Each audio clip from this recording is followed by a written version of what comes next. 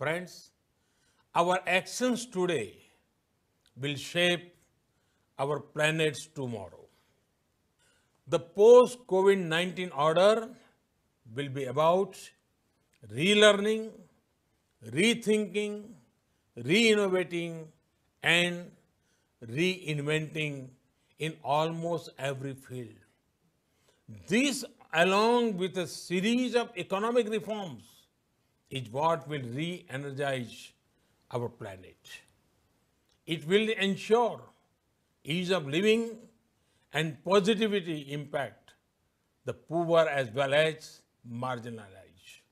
We also saw how several innovations that came out during the pandemic emerged from collaboration between the industry and academia. The world today needs viable solution to adjust to the new normal.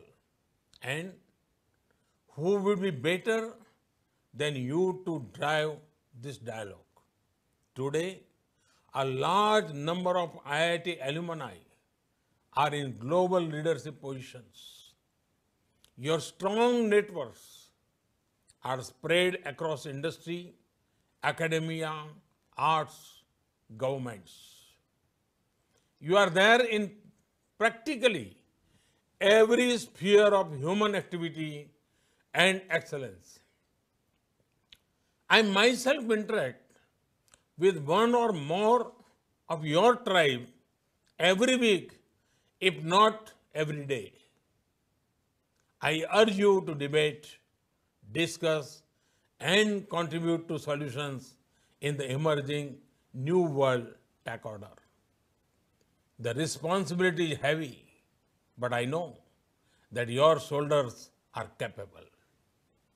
With that, I extend to you my best wishes for this year's conference, correctly themed as The Future is Now.